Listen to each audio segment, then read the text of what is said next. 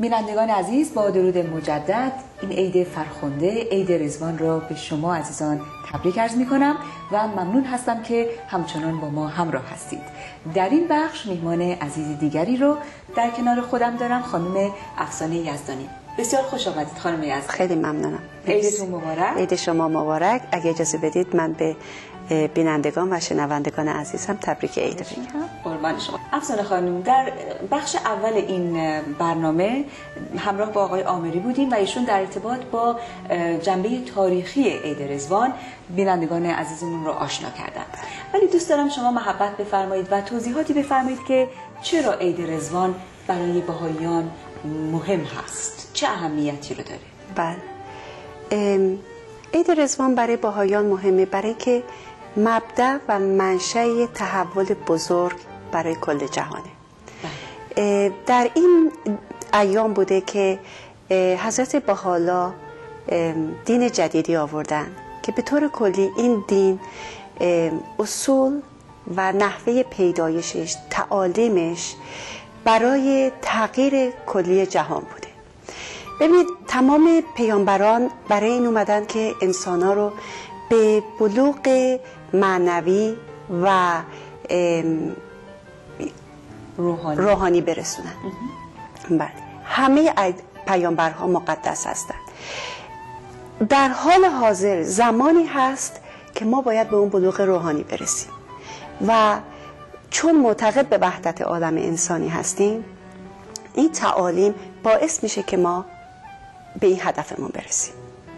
پس شما میفرمایید که تعالیمی که یعنی حضرت حالا برای جهانیان آوردن کمک می‌کنه که دنیا و مردم به اون وحدت عالم انسانی و اون تمدنی که در حقیقت برای انسان خداوند خواسته به اون برسن. کاملا. خب چطور می‌تونن بهاییان به اون تمدن برسن؟ چطور می‌تونن به اون وحدت عالم انسانی برسن؟ بله. ببینید وقتی که ما میگیم تساوی حقوق زن و مرد. بله. یکی از تعالیم یکی از تعالیمه. بله. وقتی میگیم ترک تعصبات. وحدت ادیان. تعلیم تربیت اجباری و عمومی. اینکه خودمون تحری حقیقت بکنیم. اینها از تعالیمی هست که آورده شده. می‌تونید توضیحاتی بفرمایید؟ خب اشاره فرمودید به بعضی از این تعالیم. بله. الان فرمودید تحری حقیقت. بله. تحری حقیقت به چه مفهومی هست؟ تحری حقیقت اینه که انسان آزاد فکر بکنه. کسی بهش نگه که چی کار کن و چی کار نکن متوجه میشین ببین این تعالیم بر مبنای حقوق بشر اومده.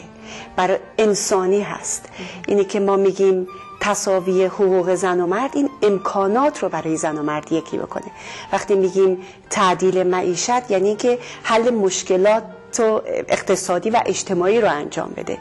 اینها الان مشکلاتی هست که ما در دنیای کنونیمون داریم. و با این امور ما فکر می‌کنیم که می‌تونیم بهش برسیم. خب شما وقتی که اشاره فرمودید به تحری حقیقت و اینکه انسان بتونه خودش آزادانه انتخاب بکنه البته این یک موضوع بسیار مهمی هست در دیانت بهایی و اون احترام به مقام و شن و خرد انسان درست. که این آزادی داده شده. شما اشاره کردید در بین تعالیم دیانت بهایی تعلیم یا آموزه وحدت ادیان. بله. آیا ممکنه بیشتر برای بینندگان عزیز ما توضیحاتی بدید که این تعلیم به چه مفهوم هست؟ بله. ما معتقد هستیم که همه ادیان یکی هستند همه از اساس و بناشون یکی وحدت دارن با هم دیگه. هیچ دینی از دین دیگه برتر نیست. ولی در زمانهای مختلف آمدن و نباید که دینها باعث نفاق و دشمنی بشن. حضرت به حالا میفرمایند که در حقیقت اگر بله، اگر باعث اختلاف باشه بیدین. نبودنش بهتر از بودنش هست امیدوارم که تمام روزهایی که در پیش رو داریم برای تمام انسان ها روزهای. خوبی باشه روزهایی پر از شادی و سرور باشه. خیلی ممنون از شما افسانه خانم خیلی ممنون از شما. بودید. خیلی ممنون که من دعوت کردید. می‌کنم. و بینندگان عزیزمون رو با بعضی از آموزه های دیانت باهایی آشنا کردید. افسانه خانم می‌دونید که این عید به عید گل معروف هست بله. و این گل های زیبایی رو که اینجا می‌بینید یکی از دوستان عزیز خانم سودابه آبدی ایشون محبت کردن و در حقیقت تمام گلارایی های این دو برنامه ویژه رزوانمون که قرار در هفته دیگه همچنان برنامه دیگه رو تقدیمتون بکنیم. ایشون زحمت کشیدن و این گل ها رو برای ما تهیه کردن. اگر اجازه بدید ما قبل از برنامه امروز فرصتی داشتیم که با ایشون یک گفتگوی مختصری رو داشته باشیم. این گفتگو رو با هم ببینیم. بسیار عالی. قربان شما. خیلی ممنون. من با شما از شما خداحافظی می‌کنم. دوستان عزیز این گفتگو رو می‌بینیم و بعد با ما همراه باشید تا بریم سراغ مونا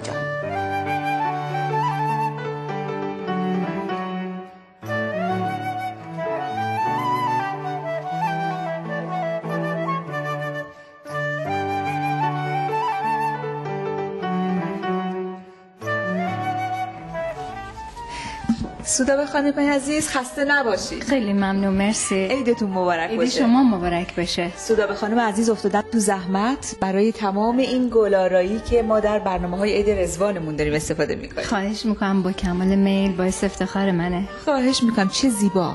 شما در این ایام عید رزوان و عید گل که با این گل ها کار می‌کنید چه احساسی رو دارید؟ می‌تونم بگم یکی از بهترین احساسای منه. در کل ماه بهار که می‌دونین که تمام این گلای زیبا اه، میان و همه جا شکوفه بارون میشه یکی از زیباترین ماها هستش و برای ماهایی که توی کار گل هستیم یکی از هیجان انگیزترین ماهای ساله. سودا جان عزیز به مناسبت عید گل و عید رزوان آیا پیامی رو دارید برای هموطنان عزیز ما در ایران و تمام فارسی, جه... فارسی زبانان جهان؟ بله حتما. من عید رزوان خدمتون تبریک میگم. و امیدوارم اون روزی بشه که همه ماها توی صلح و هارمونی و و دوستی و محبت زندگی بکنیم تعصبات همه به کنار بره و هممون همون جوری که حضرت بهاءالله فرمودن مثل گلهای یک باغ هستیم بتونیم همون جور توی همون هارمونی و زیبایی زندگی بکنیم. چون که هر گلی زیبایی خودشو داره رنگ خودشو داره عطر خودشو داره و این مثل ما انسان ها هستیم. تو این دنیا که هر کدوممون هر نژادی هستیم هر مذهبی هستیم هر رنگی هستیم و هر زبانی صحبت می‌کنیم ولی زیبایی خودمون رو داریم و در نگاه خداوند هممون یکسان هستیم و عزیز هستیم. همینطوره. خیلی ممنون از محبتتون. من می‌دونم که خیلی گرفتارید و مشغول هستید. خسته نباشید و خیلی ممنون از تمام زحماتتون و انشالله بتونیم در فرصت دیگه با شما صحبت طولانی تری رو داشته باشیم. با کمال میل قربان شما. خدا نگهدارتون. خدا